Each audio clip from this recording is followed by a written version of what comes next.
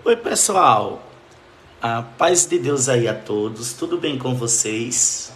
Como é que vocês estão? Gente, hoje eu vou fazer uma aulinha diferente aqui, ó. Vamos utilizar 00, tá? Fiz só uma livezinha esse horário para vocês aqui aprender a fazer as gotinhas de orvalho. Tá? Que o pessoal tá me pedindo muito, eu já vou deixar aqui. Deixar aqui o vinho. É, vamos fazer algumas gotinhas, tá? Eu vou ensinar uma aqui na rosa.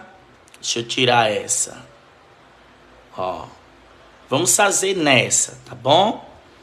Algumas gotinhas de orvalho. É uma livezinha só para tirar essa dúvida, tá? De vocês de vez. Deixa eu fixar aqui o pano, ó. A minha tábua já tá com cola, tá? Então eu só fixo aqui o meu pano. Quando você tem a cola que a gente usa, gente, eu acho que o pessoal já sabe, mas sempre tem algumas pessoas que tem dúvida, né?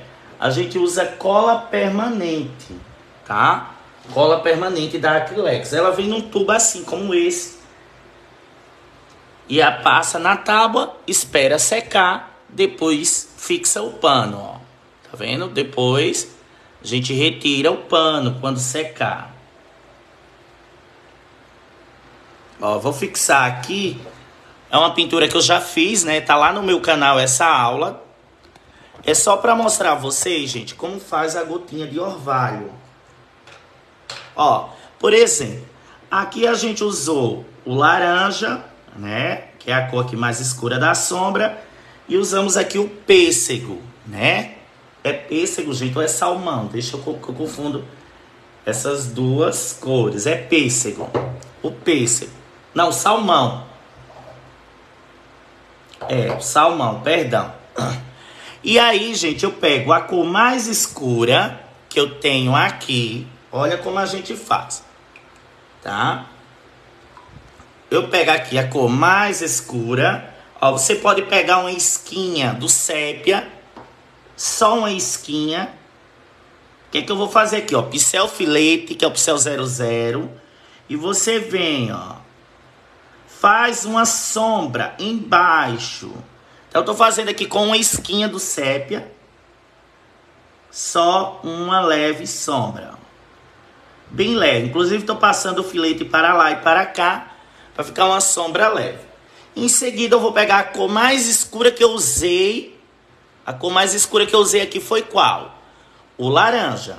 Então, eu pego aqui, ó, o laranja em cima desse círculo Ó, em cima.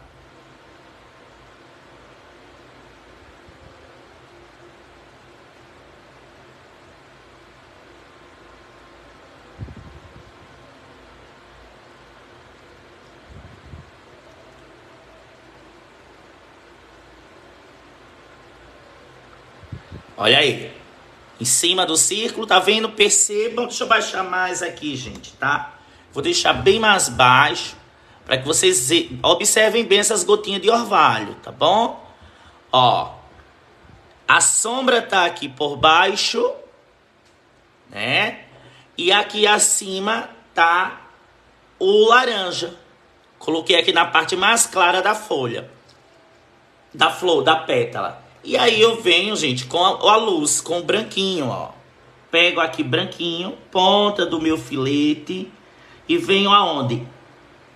Acima da sombra no pé da bola. Ó, que eu fiz aqui uma bola, né? E aí você vai passando para um lado e para o outro, até clarear mais, ó. Tirando o excesso, tá vendo, ó? Já estamos clareando. Vamos pegar mais um pouquinho do branquinho. E aí a gente vem.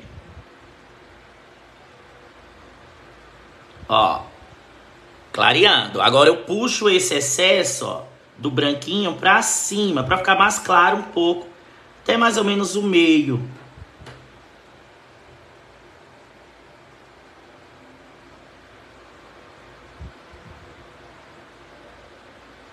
Olha aí. Tá vendo? Já tá formando a sombra, né? Isso, a, a luz. Tá vendo? Eu clareei aqui, ó. Clareia mais um pouquinho. É só questão de, de paciência, gente. Você vai clareando, pronto, aqui já tá bom. Ela já está bom. Ó, A sombra embaixo com um pouquinho de sépia, bem pouquinho. A luz acima da sombra. E aí eu pego aqui pouquinho de luz. Ó, e boto o brilho no lado de cima, gente. Ó, um pontinho, dois pontinhos.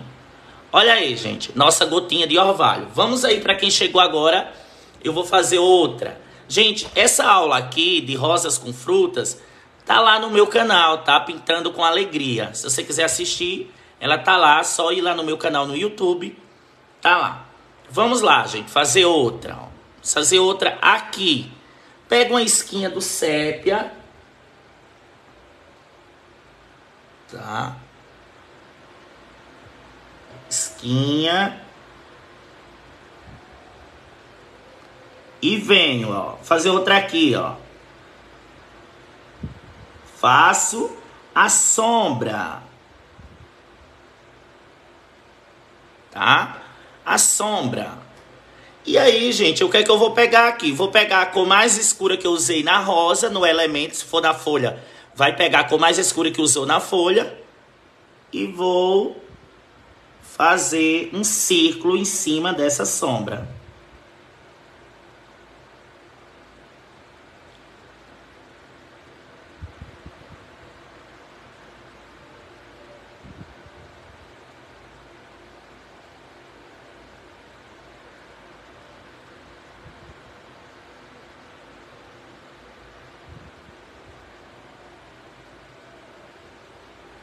Ó,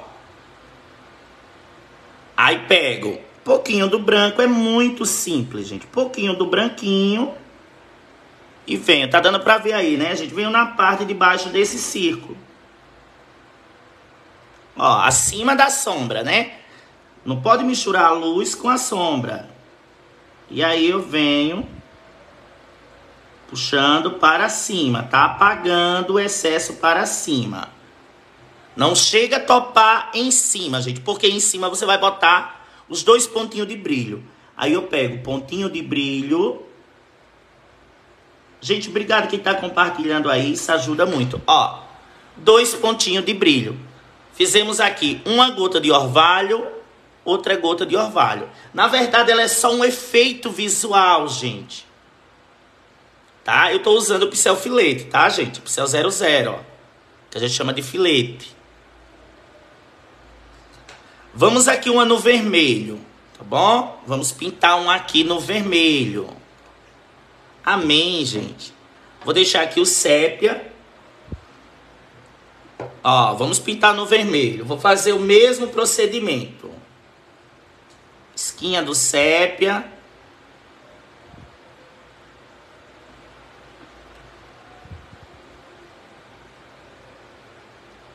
Esquinha do sépia. Eu venho aqui, ó, no vermelho, fazer aqui no vermelho mesmo. Faço a sombra embaixo, né? Tipo uma meia lua. Vem, obrigado, gente. Compartilha aí, tá? Por favor, nos grupos de pintura. Tá bom? Pra tá me ajudando.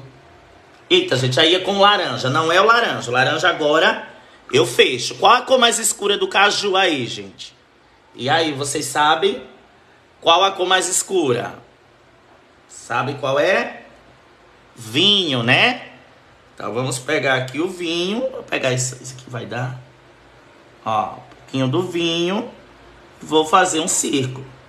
Tem segredo, ó.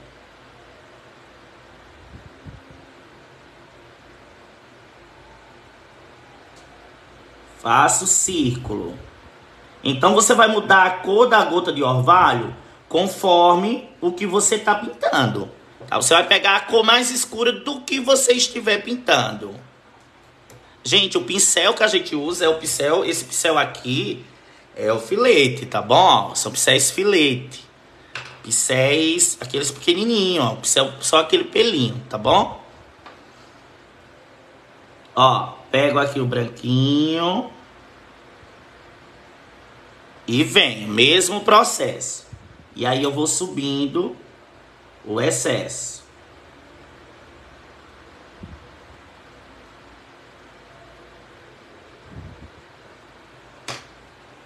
Olha lá. Dou aqui um ponto dois pontinhos. E ficou aí a gotinha de orvalho do mesmo jeito. Entenderam? Deixa eu fazer um agora numa rosa mais clarinha.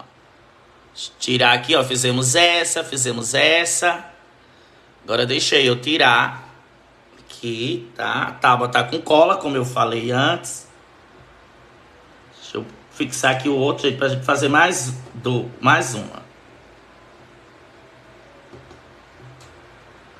Ó, vou colocar essas. Lembra dessas que a gente fez ontem? Né? Se perdeu essa aula também, tá lá no meu canal. Ó, eu vou pegar aqui o, a cor mais escura aqui tá bom? Vou pegar o vermelho carmim, que foi a cor mais escura que a gente usou. Pegar uma esquinha do sépia. Faço a base da sombra. É ótimo sépia para fazer sombra dessas gotinhas de orvalho, tá? Ó. Se eu vou fazer ela aqui mais subindo, gente, mais caindo. Tá bom? Aquela que ela vem descendo, tá? Que fica aquela raninha, ó. Então eu pego aqui a sombra projeto ela aqui também desse lado, ó. Tá mais compridinho, ó. Peguei aqui embaixo e subi, porque ela vai vir aquilo caindo, gotejando. Pego aqui o vermelho carmim, que é a cor mais escura que eu usei nessa rosa. E subo também. Ó, coloco ela vindo caindo, né? Fazendo o respingo aqui, ó. Ela veio lá de cima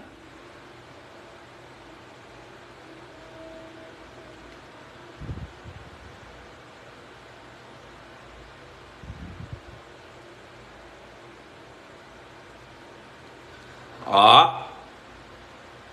E agora o efeito vem da luz. Tá bom?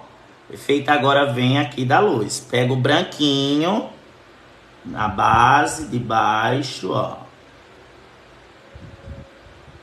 Dou uma subida maior um pouco, gente, ó. Você vai subir mais um pouquinho. E aí eu venho limpar, né? É, o branco aqui, mesclar, para ficar mais clarinho, ó. Tá vendo? Venho aqui apagando.